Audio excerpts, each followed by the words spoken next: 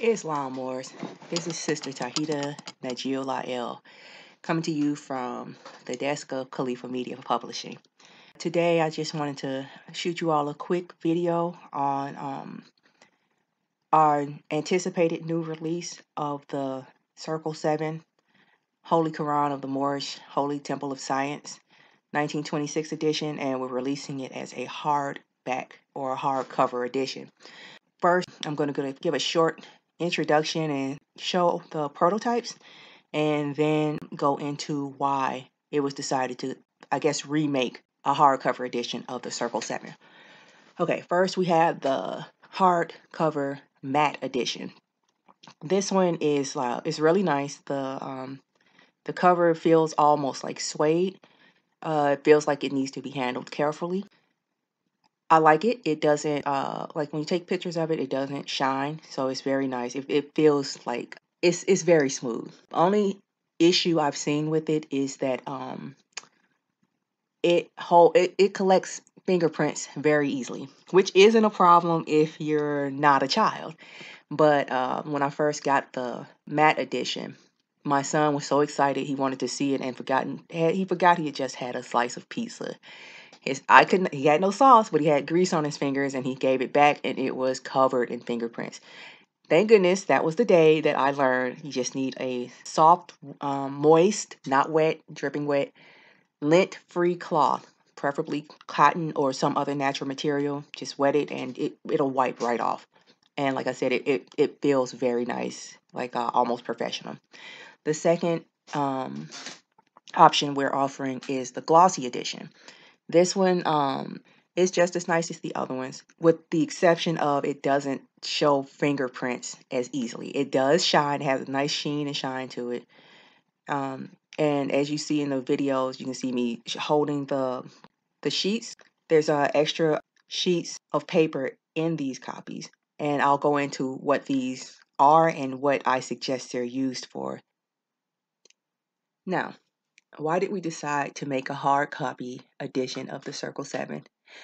I went online. Actually, I was in the bookstore and I was looking through the religious section of, uh, I won't say the name of the company, but it's a major book retailer, brick and mortar. You can probably guess who it was. And I was going through their religious section. And I'm like, okay, let's see what kind of religious books they have. Okay, they have, it's only one shelf. Actually, it's two, it's one shelf, two sided and it's all Christian theology, methodology, dogma, etc., etc. Go all the way down to the bottom two shelves, and there's Judaism and Islam, and nothing um, as far as Moors. Of course, I wasn't surprised, but then I noticed I'm like, oh, okay, let me just look at them anyway, because you know, as we put out books, and I, I like to see, you know, keep abreast of what's going on in the market. So I'm looking at the covers and it's like, okay, they're standard covers. Go to the other side of the the shelf where they have the Bibles for uh, taking to and from church, and uh, it, it occurs to me they're all hard copy. It's like, oh, okay, that makes a lot of sense. It might be a better idea to have a hard copy of a book that you you intend on using frequently, because if your books are anything like mine, the paperbacks, they fall apart eventually after you know years of just standard wear and tear. But uh, it takes a lot longer for that to occur with hard copies.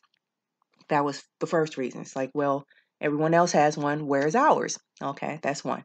So i went online and i looked for it and i found the the copy the edition that was put out by dr malachi z. York which you can no longer access and I've actually seen that copy. I've actually been, you know, fortunate enough to hold copies in my hand more than once.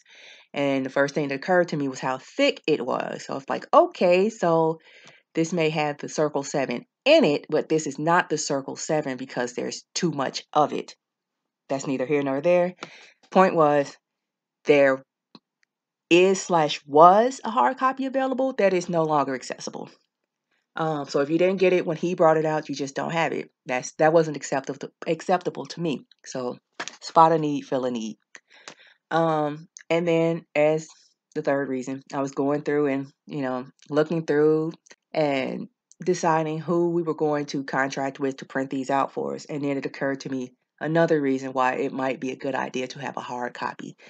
Those additional white sheets, and I'll insert the proper name of them somewhere in the video. The book says, This text belongs to, and you fill in your name. The additional white sheets have been inserted so that you may fill in the names of all of your family members. Um, it occurred to me that not all Moors have access to a temple, let alone have access to birth records. So, how can, what can we do to address that issue? We can give you a book where you can record these yourselves that in a, in a manner that has been recognized and respected for generations. And if you actually, and I've done this, you know, because I homeschool, if you actually go into the statutes of most states, they will accept a religious book. The records were kept in your religious book as proof of your identity. At least in as far as uh, enrolling your children in school and accessing other forms of identity. So, like I said, I was trying to make this quick, keep it short, and give you a nice introduction to our newest, the newest member, newest addition to our shells. Um, we anticipate these being released after Mercury has left shadow sometime in December. It's uh, first or second week of December. Um, I'll insert the date.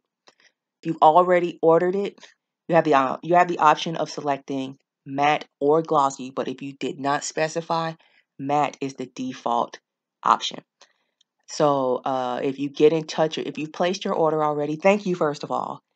And if you do prefer to receive the glossy edition, please contact us at editor at califamedia.com and um, we'll be sure to make sure you get the, the edition, the format that you would prefer. And with that said, peace, love, Islam, and I'll talk to y'all later. Peace.